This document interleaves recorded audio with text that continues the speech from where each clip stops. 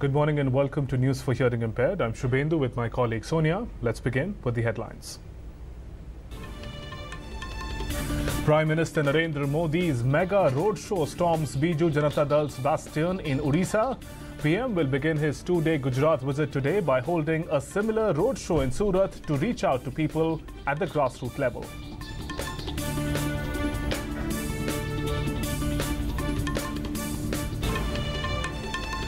PM Modi attends the BJP National Executive meeting underway in Bhubaneswar. Party's top leadership deliberate on expanding its mass base in eastern and southern states.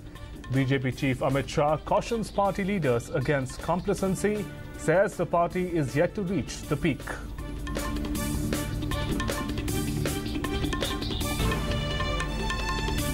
At least eight engineering students from Karnataka's Belgaum district drowned in the sea of Vairi coast in Sindhudurg district of Maharashtra.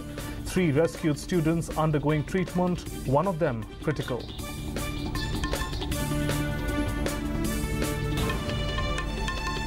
Heat wave continues to hit several parts of the country. Many cities in Odisha and Telangana record maximum temperatures above 40 degrees. National capital Delhi also experiences sweltering heat. At least 45 evacuees killed in a suicide car bombing in Syria. The rebels targeted the buses carrying Syrians evacuated from two government-held towns of Foua and Kafraya.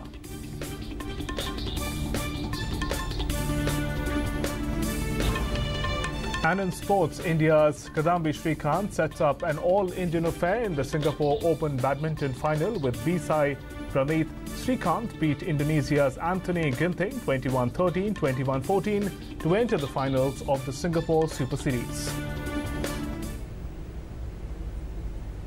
The two-day BJP National Executive meeting began at Janata Maidan in Bhubaneswar on Saturday.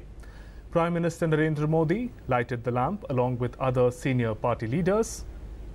Besides party veterans L.K. Advani and Murli Manohar Joshi, BJP President Amit Shah, union ministers, chief ministers of 13 BJP ruled states, and three deputy chief ministers are attending the meet.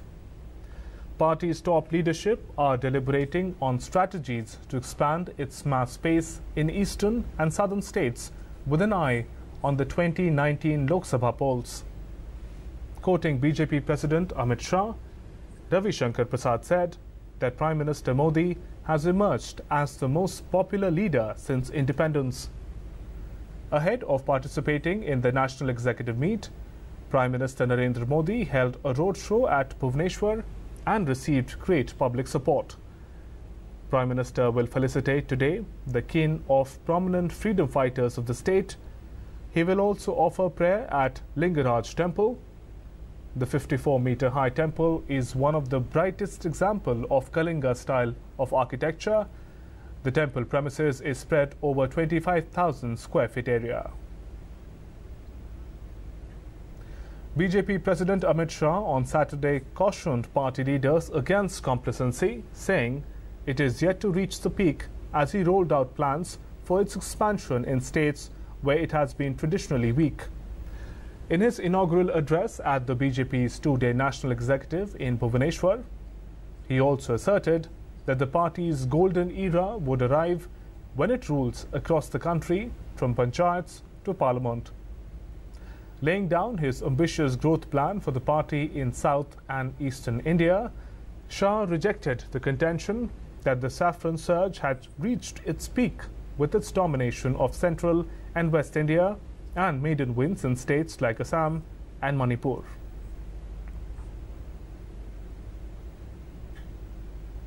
Prime Minister Narendra Modi will begin his two-day Gujarat visit by holding a roadshow in Surat after arriving in Ahmedabad today later in the evening. PM will embark on a roadshow over an 11-kilometer stretch between airport and the circuit house. On Monday, Prime Minister will inaugurate rupees 400 crore Kiran Multi Super Speciality Hospital and Research Centre built by a trust. Prime Minister will then go to Hira Bourse, SEZ, at Ichhapur village in the district to inaugurate a diamond polishing unit of Hari Krishna Export Private Limited. India on Friday decided to call off the upcoming maritime security dialogue with Pakistan as tension between the two continues to grow over the death sentence Islamabad handed out to former Indian Navy officer Kulbhushan Jadhav. A delegation led by Pakistan's Maritime Security Agency was scheduled to visit New Delhi for four days from April 16. Earlier, India had toughened its stand against Pakistan after Islamabad rejected India's request for consular access to Kulbhushan Jadhav. India demanded a copy of the charge sheet and consular access to the retired Navy officer Kulbhushan Jadhav, who has been sentenced to death by a military court in Pakistan. Home Minister Rajnath Singh once again reiterated that the government is doing everything it can to ensure Jadhav's safety. In another development, Pakistan has prepared a new dossier to be submitted to the United Nations with more evidence against Kulbhushan Jadhav.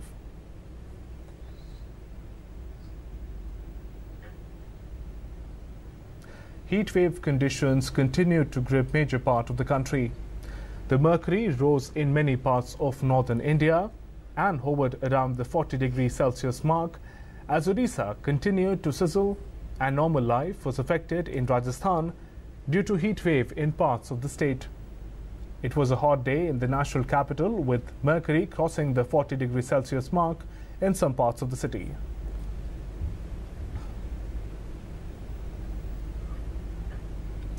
Eight students of an engineering college from Karnataka out on a picnic drowned in the Arabian Sea off the Wari coast in Maharashtra Sindhudurg district on Saturday. The students from Maratha Engineering College in Belgaum had gone to swim in the sea the deceased were part of a group of 47 students. Around 30 of them had gone to the sea for swimming. The police said, adding three students were rescued from the sea and 19 others swam to safety. The incident occurred around noon at Vari, a coastal hamlet near Malwan town in the Konkan region of the state. Supreme Court Judge Justice Deepak Mishra has urged the senior citizens to raise their issue and problems, and authorities will try to solve their problems. He was addressing a seminar in Faridabad on welfare of senior citizens, issues, challenges, and the way forward. Emma Morano, an Italian woman believed to have been the oldest person alive and the last survivor of the 19th century, died at the age of 117.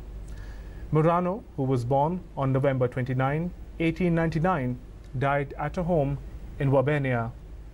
According to the US-based Gerontology Research Group, Morano ceded the crown of the world's oldest human being to Jamaican Violet Brown, who was born on March 10, 1900. Morano's death means there is no one living known to have been born before 1900. Petrol price has been hiked by rupees 1.39 per litre, while diesel price has gone up by rupees 1.04 per litre with effect from Sunday. The Indian Oil Corporation announced yesterday. IOC added that it intends to start a pilot project in select cities daily for the daily revision of petrol and diesel prices. National Conference President and former Chief Minister Farooq Abdullah has won the Srinagar parliamentary seat in the by-poll. He defeated PDP candidate Nazir Ahmad Khan with a comfortable margin. Farooq Abdullah expressed his gratitude to people after winning the by-poll. A huge car bomb blasted a convoy of coaches carrying evacuees from besieged government-held towns in Syria, killing at least 45 people. It shattered coaches and set cars on fire, leaving a trail of bodies, including those of children, as the convoy waited in rebel territory near Aleppo. There were fears of revenge attacks on evacuees from rebel-held towns being moved under a deal. Amateur video showed several burnt-out buses and vehicles in flames as those injured fled the area and firefighters attempted to get the flames under control. The bus convoy had evacuated people from two Shiite villages the day before in a deal between the warring sides. A new North Korean missile test from Sinpo area in the South Hamgyong province failed. The South's defense ministry said in a statement.